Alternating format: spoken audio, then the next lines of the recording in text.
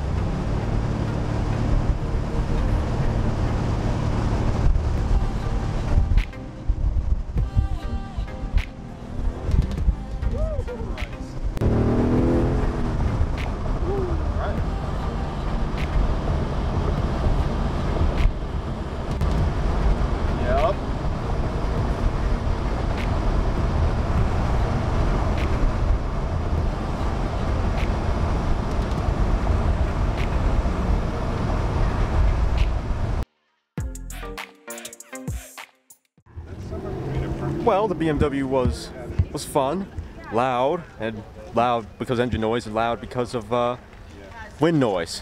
So much like last year when I rode in that Mercedes and I sat in the back, and then we went past a truck, and the wind noise went up exponentially. Don't run me over! No. I will sue you and I will own you. No. but anyway, so Aaron is currently in the Palisade. I have yet to see the Telluride. Uh, in fact, we saw one on the way here, although it wasn't a white one like the one that's here. But yeah, so let's see, we're in somewhere in the mountains where there's probably Sasquatch and a few wolves and no internet. So that's that's very nice. And I need I did need shades. I was very right to bring shades because that would have been bad. Uh, yeah. Anyway, uh, considering how my how my plans have not gone to plan, uh, I'll just see you in whatever I get in next.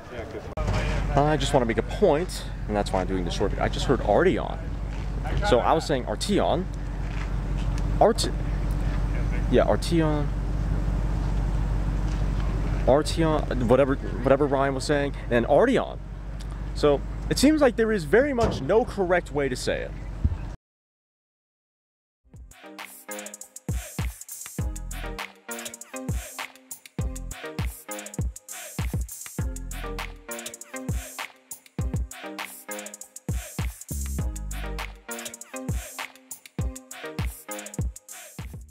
So, fun fact, chipmunks are quite chipmunks are quite bold. I know this because one tried to mug me by jumping up my leg. I was not best pleased with that. What, what do you want to say? Chipmunks, dangerous. Ve- very. I feel like something they raided something from my bag, like raccoons. Hopefully they didn't. So, current sit rep, uh, I didn't get any footage of that. Excuse me, of that Challenger, unfortunately, because I was motion sick. I was quite, I was quite poorly, to put it frankly. So, yeah, I no, I was not, I was not recording that one. But then again, I've, um, I think I've maybe not recorded last time, but point being, uh, that's not that car is not specifically why I'm here, why I have a list of questions I want to ask the representatives of specific vehicles. So I'm okay with that one. Uh, and to be honest, it was just a really actually leisurely cruise throughout the throughout the drive to where we are right now, and it's Manitou Manitou Park. I think I'm saying that correctly. So in terms of raw footage, the BMW stuff is more exciting. So yeah, there you go. Um, and we're departing for the hotel now. I think it's two-ish o'clock. My wristwatch is in army time, which means it's completely and utterly useless.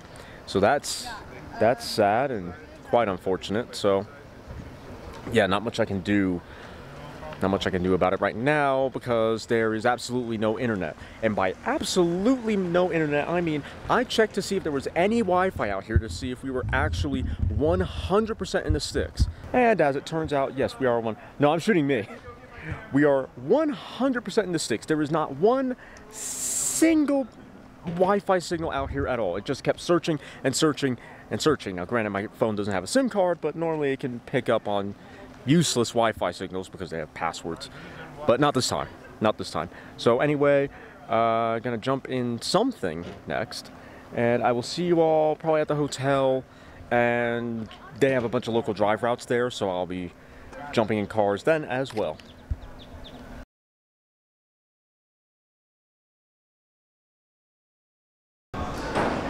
Let's let's shift that way and then sit rep everyone. So sorry I didn't get any footage of the challenger unless I already told you about that. Oh yeah, I did because it was lunchtime. Okay, and I also told you that I got mugged by a squirrel.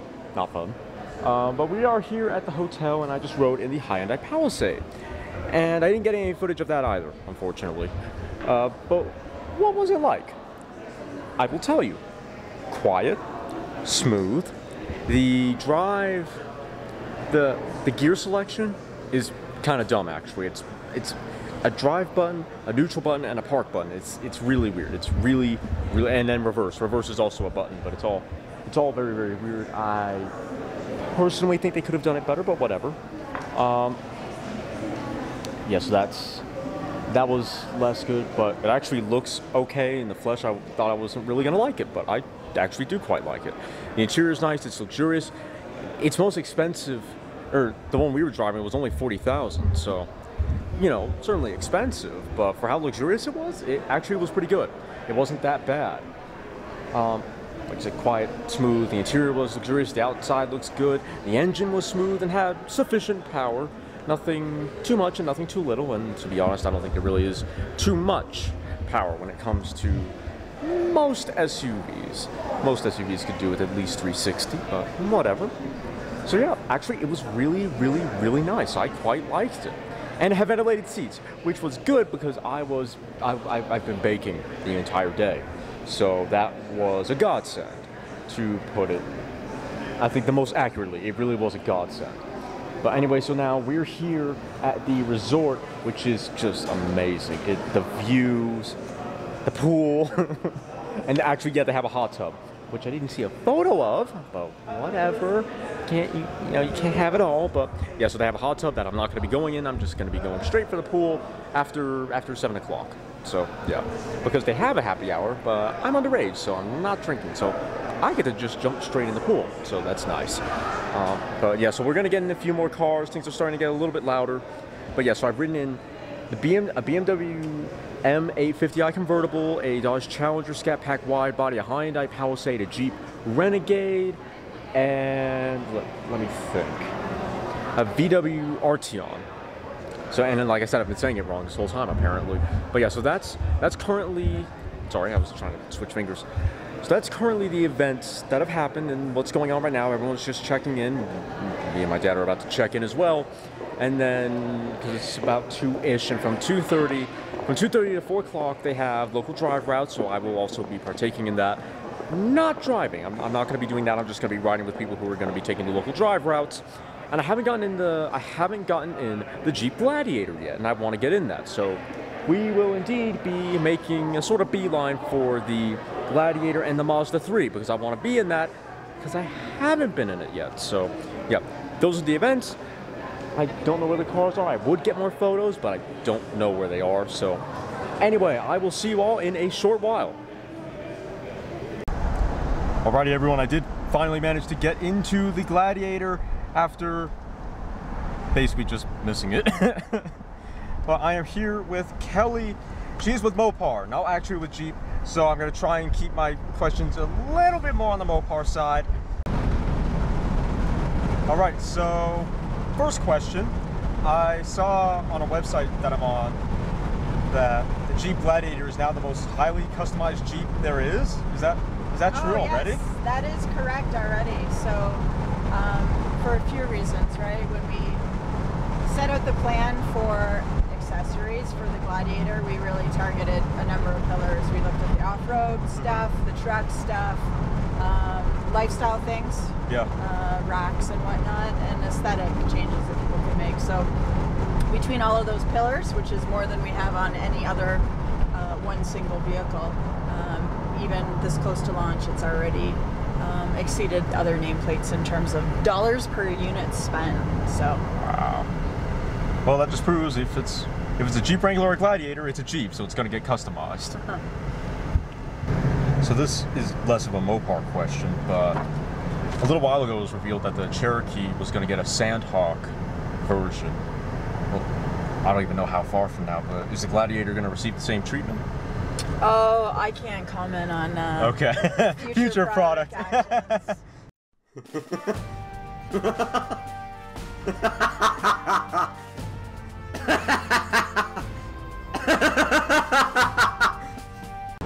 So when Mopar designs parts for a vehicle, do they design them while that vehicle's in development, or is it after it gets revealed and then the Mopar team gets to work on making parts for it? Oh, uh, it's definitely the former. So we ultimately we are the OEM, right? We work with all of our brands, and uh, basically even before the vehicle is, is uh, approved, we're working with the design office. We're working with the platform engineering teams to ensure that the parts and accessories that we want to offer, uh, the appropriate provisions are in place in the vehicle, etc. So that's the great benefit of, of Mopar parts and accessories is they're actually designed for the vehicle. They're tested and validated. Uh, you know, we send our lift kits on hot trips, validation trips, etc. Um, and the third parties, the aftermarket, can't even come close to that, right? Weather mats, for example, commonly what happens is when a gladiator is available, they'll buy a vehicle, they'll scan it, and they will create mats that are perfect for that one vehicle, right? Rather than having the map data and the you know geometric um, Yeah. tolerancing that's, that's in place. So I do not remember this roundabout on the way in. Here's a behind the scenes of what happens during a test drive. Some some things go not to plan, to put it that way. Although I will say this: that uh, that Renegade kept going with Laura in it, so I don't I don't think many people are doing are strictly doing. The yeah, everybody's doing their own thing. Yeah. Helps when you know the area, but I do not. So. Hmm, That's interesting. So, what happens when some Mopar parts don't actually make it to production? Because I remember the Dodge Dart had a lot of SEMA concepts with a lot of Mopar parts each year, and not not very many of them made it to Which vehicle? The Dodge Dart. Oh. By the way, viewers, if you're wondering what that was, that was my phone. It's on the home still, so. Uh, yeah, so I mean, when we show vehicles at certain events, sometimes it is uh, Mopar production parts and sometimes they're Mopar conceptual parts. Okay. And what we do sometimes with these Mopar conceptual parts is um, sometimes they're just, you know, we have no intention of bringing them to market. Sometimes it's something that we're thinking about and we want to get some feedback on, um, you know, what our customers think about them. So uh, at the end of the day, right, when we bring something to market, it needs to be commercially viable. We need to be offer able to offer it at a price that's um, competitive with what's available in the aftermarket. And if something doesn't make sense, um, then we either don't pursue it or, or we drop it from the uh, the Mopar portfolio.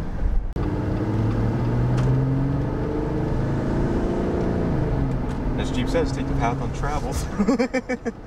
That route Route That- recalculation. on the UH. In 400 feet, turn right That road onto looks more 2nd Street. Yeah. Looks more Jeep-like.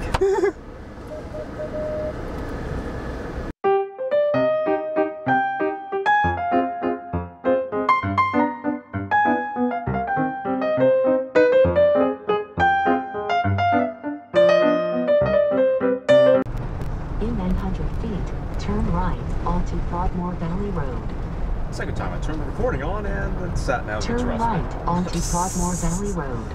Anyway, so why did you guys decide to bring the Moparized 1500? I mean, I thought that would be sort of a show-only vehicle.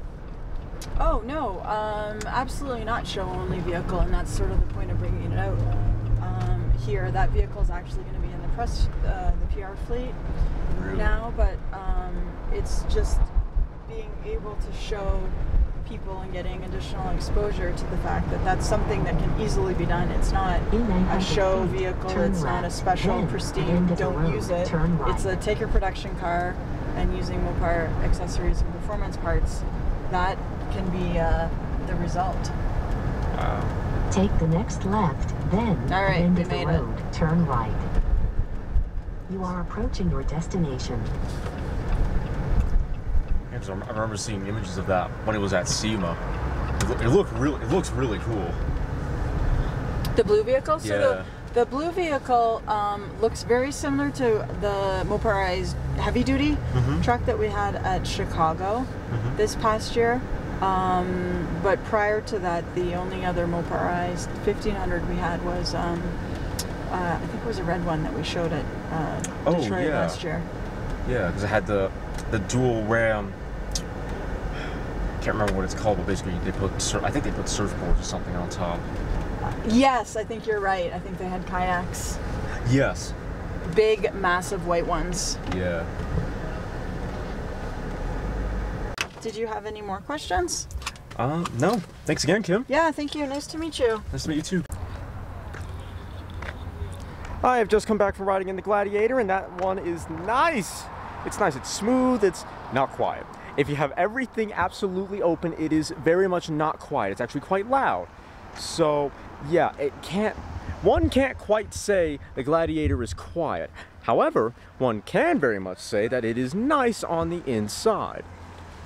The Ah, yeah, let's go. Okay. Burnout. Spin the days, Bill.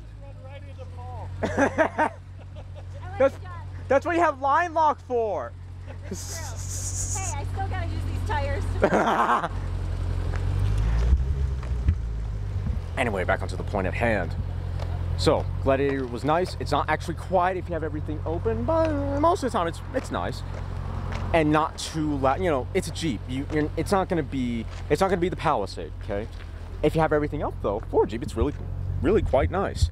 The ride, I liked it. I was comfortable. The seats were comfortable. The engine, I think it could use a little bit more power. Not that we really got into it all that much, but oh well still nice. Still got us mer- uh, merged onto the highway without too much trouble. So, yeah, overall, I quite like. I can see why it's popular.